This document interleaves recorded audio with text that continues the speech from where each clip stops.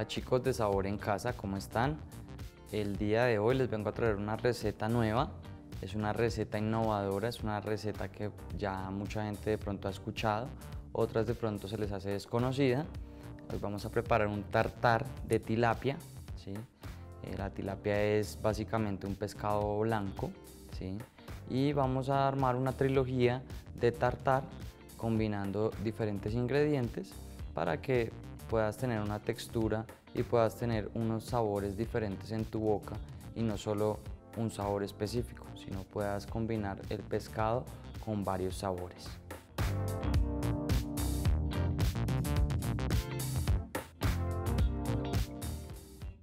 Para nuestra preparación vamos a coger entonces en la tilapia.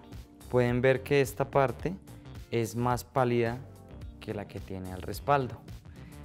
La volteamos y dejamos la parte por roja. ¿Qué vamos a hacer con la, la, parte roja? La vamos a quitar.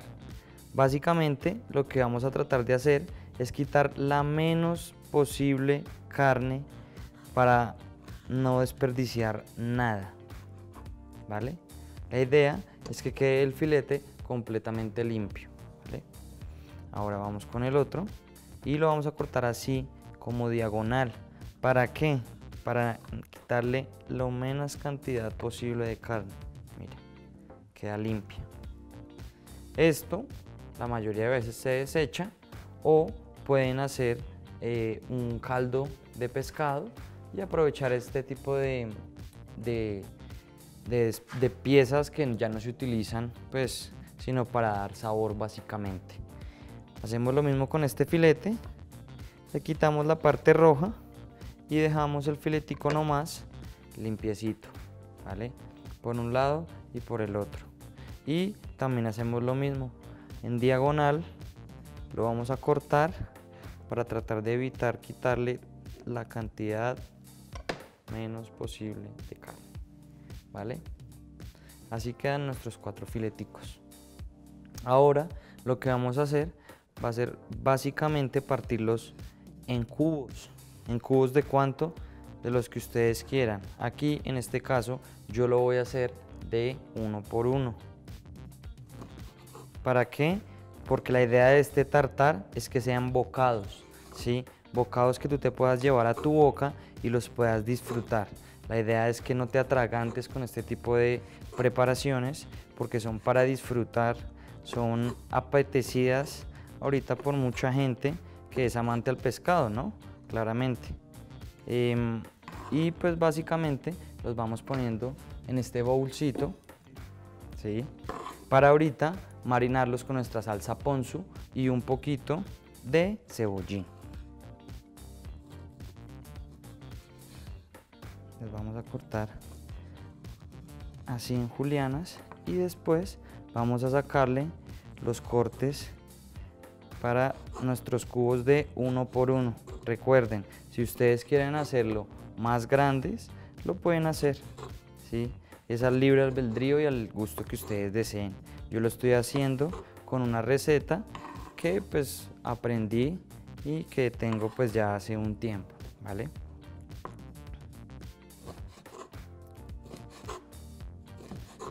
La idea es que queden cortes chéveres. La idea es que en casa tratemos también de, perfeccionar todo este tipo de, mm, de preparaciones que la gente, vuelvo y repito, como en programas anteriores, que ven difíciles en su casa.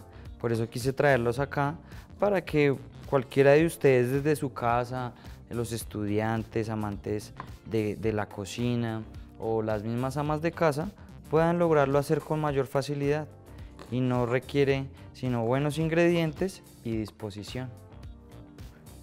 Bueno, entonces seguimos aquí con nuestros cubitos de tilapia. No saben cómo huele esta tilapia de rico. A mí en general me encantan todo lo que son pescados, mariscos y demás.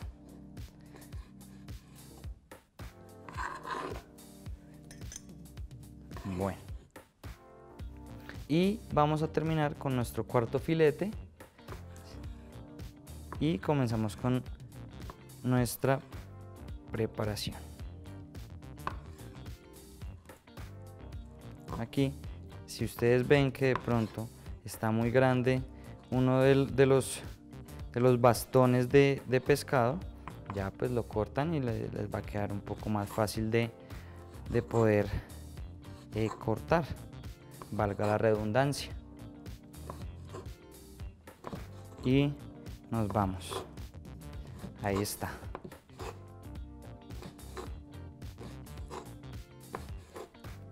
Y terminamos con nuestros cubitos de tilapia. ¿Listo?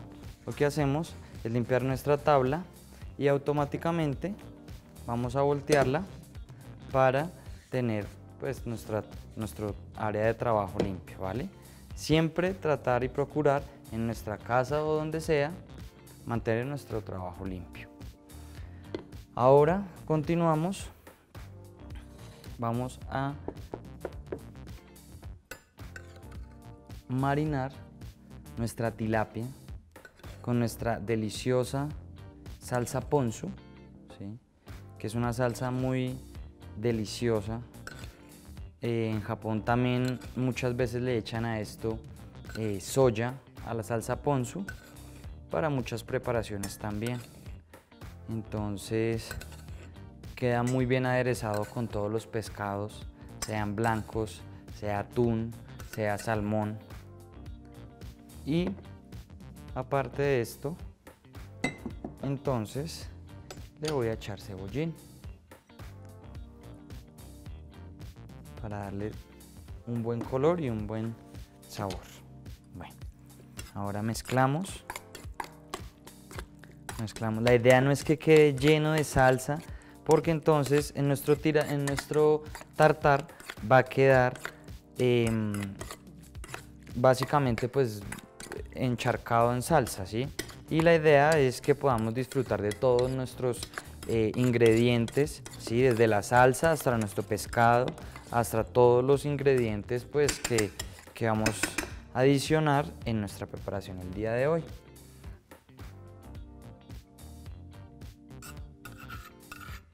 Vamos a echar un tricito más para terminar. Listo. Ahí estamos revolviendo, entonces básicamente volvemos con la tilapia, salsa ponzu y cebollín. ¿Listo? Entonces, ahora lo que hacemos es pasar a emplatar. ¿sí? Básicamente, hoy nuestro plato es cuadrado o triangular, ¿sí? Em, pues para darle un, buen eh, espacio a la gente para que pueda ver. Y pues básicamente entonces hoy lo que vamos a hacer va a ser mm, nuestros dos tartar, ¿vale? Entonces nos vamos primero con la base de tartar. Tenemos que tener un, bol, un molde. Si en su casa no tienen un molde, podemos hacerlo con unas cucharitas y queda como un bocado de tartar o lo pueden hacer o lo pueden hacer em, con unas tapas. Lo pueden hacer como si fuera un montadito. El tartar tampoco tiene ninguna ningún tipo de prescripción ni tiene eh, nada que siga una regla Básicamente que tenga una forma que sea idónea para comer, ¿vale? Entonces vamos montando nuestro tartar, ¿cierto? Acuérdense que este es un tartar de tilapia, de pescado blanco, ¿sí? Y entonces dejamos acá a un lado nuestra tilapia y nos vamos con sandía. Voy a echarle un poco más, ¿sí? Eh, porque me gusta el pescado bastante, ¿vale? Y quiero que sobresalga más el pescado, más que los otros ingredientes o que predominen más los otros que la tilapia. Entonces decidí echarle un poco más.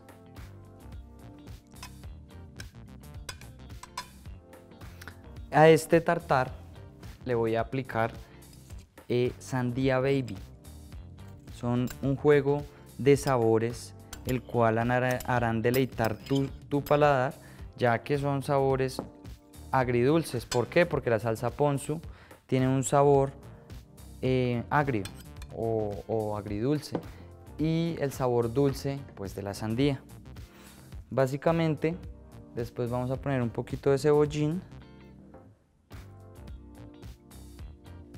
para decorar. Bueno, ya estábamos montando el tartar eh, de tilapia con sandía. Eh, en comenzando la primera base tiene tilapia, pescado blanco, en la mitad tiene sandía y vamos a proceder a ponerle mm, aguacate. Una explosión de sabores en tu boca que pues, te harán deleitar mucho y quedarás como un príncipe si lo llegas a realizar a tu novia, a tu esposa em, o a una amiga tal vez que quieras conquistar. Entonces lo cortamos al sesgo, siempre al sesgo, para que tengamos mayor facilidad de poder manejarlo.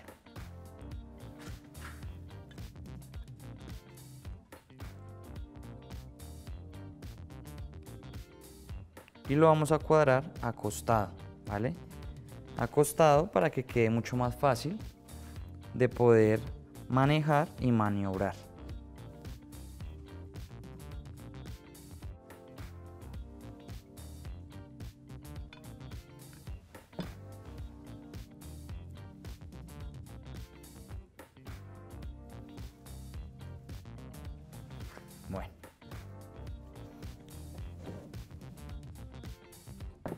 Aquí ya le hemos terminado de poner nuestro aguacate. Ahora sacamos con nuestro molde, ¿sí? Y ahí ya tenemos nuestro primer tartar, que es de base de tilapia, sandía y aguacate, ¿vale? Seguimos con un poquito de cebollín encima para que le dé decoración, ¿cierto? Siempre eh, estar pendientes de nuestro plato siempre tiene que estar muy limpio, ¿cierto? Y le vamos a adicionar unas semillitas de girasol también para decoración. Algo que, a la gente le gusta también mucho la jonjolí. Entonces, pues complacemos a la gente también con, con el tema de la jonjolí, ¿no? Y le ponemos cebollín para decorar. Básicamente es una decoración fácil y versátil. Seguimos con nuestra siguiente tartar. Cogemos y nuestra tilapia, ¿cierto? La ponemos. Qué delicia, qué delicia esto. Me estoy antojando porque me gusta bastante el, pescado, en verdad que sí. Este lo voy a hacer un poquito más alto que el anterior, que voy a aprovechar que va a venir una amiga le voy a dar de probar este tartar que estoy seguro que nunca lo ha probado. Entonces, tal vez la conquiste así. Listo. Entonces, vamos a echarle un poquito más de tilapia. ¿Cierto? Ponemos por aquí la tilapia.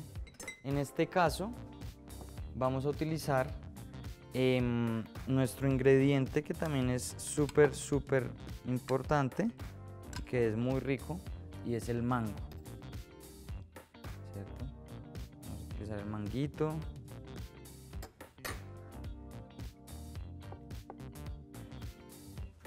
Tratando siempre de mantener nuestro plato limpio y organizado, ¿cierto? Que se vea en orden.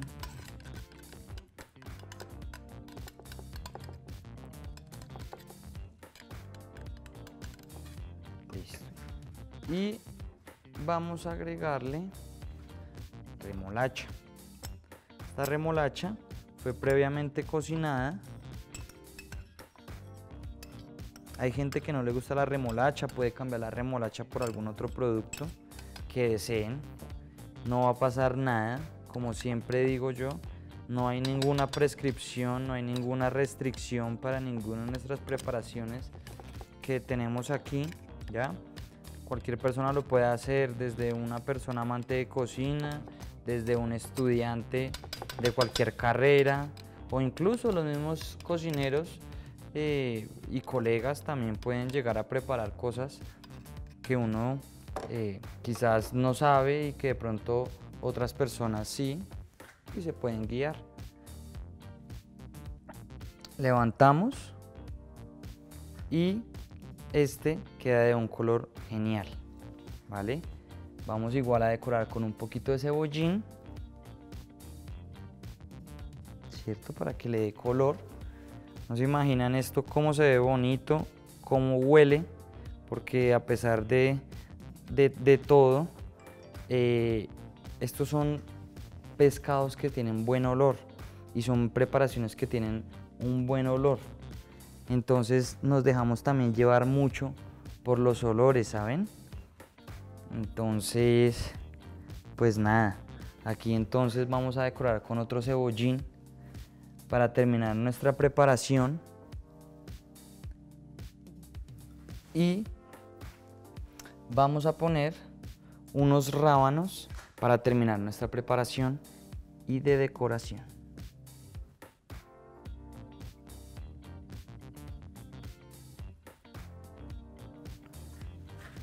Bueno chicos, y para finalizar nuestra receta del día de hoy, no olviden seguirnos en Hogar TV o en Sabor en Casa eh, para seguir todo este tipo de recetas y que puedan aprender cosas fáciles y chéveres en su casa.